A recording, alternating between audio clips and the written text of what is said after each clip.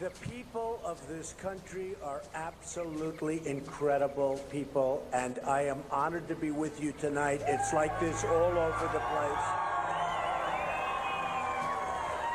We're going to take our country back, folks. We're going to take it back. We are with you, sire, for freedom, to the death. Man, I like that guy. Thank you, man. Thank you. The establishment, the media, the special interest, the lobbyists, the donors, they're all against me.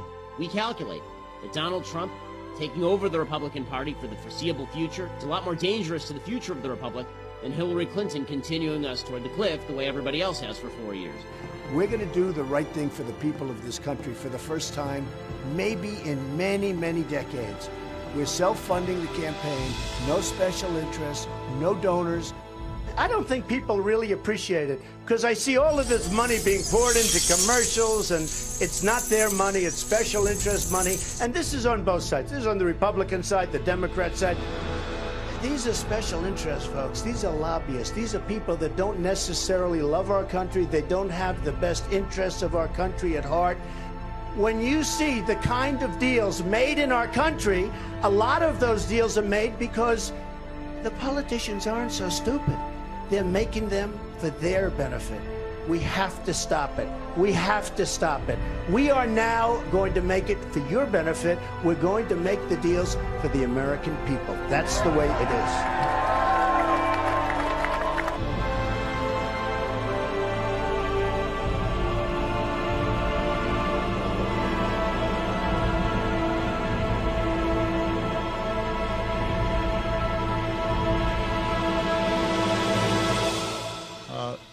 I continue to believe Mr. Trump, will not be president. And the reason is because I have a lot of faith in the American people. And I think they recognize that being president is a serious job. And sometimes it requires you making hard decisions even when people don't like it. And standing up for people who are vulnerable but don't have some powerful political constituency. So with the additional steps I ordered last month, we're speeding up training of ISF forces, including volunteers from Sunni tribes in Anbar province. Radical Islamic terrorism. And I'll tell you what, we have a president that refuses to use the term. He refuses to say it. There's something going on with him that we don't know about. Trump isn't going to shut the border. He's not going to fight the war on terror properly. He's not going to deport massive numbers of illegal immigrants. It's not happening. We have to do something about it, and we have to start by building a wall, a big, beautiful, powerful wall.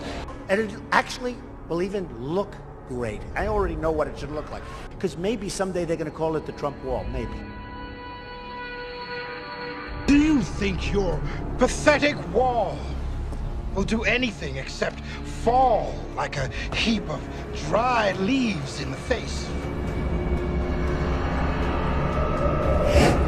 The wall just got 10 feet taller, believe me. It's got 10 feet taller. You will pay for your barbarism!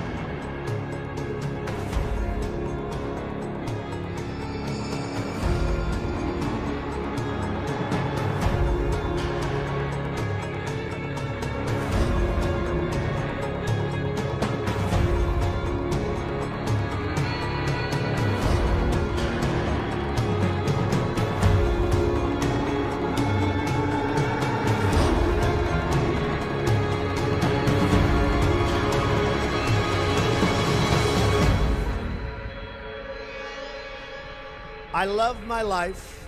I have a wonderful family. They're saying, Dad, you're going to do something that's going to be so tough.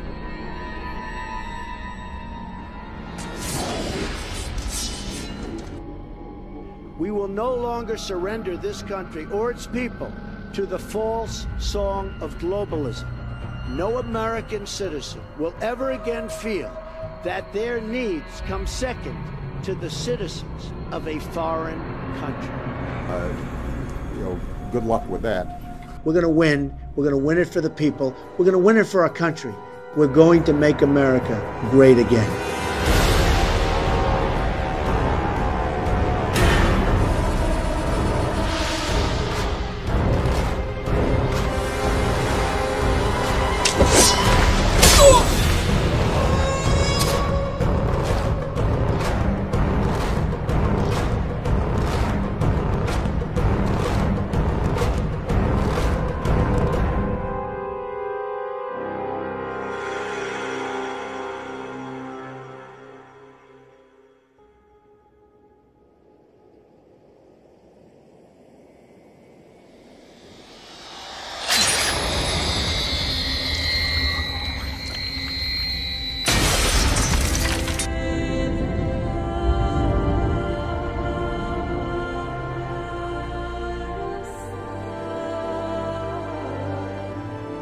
We march.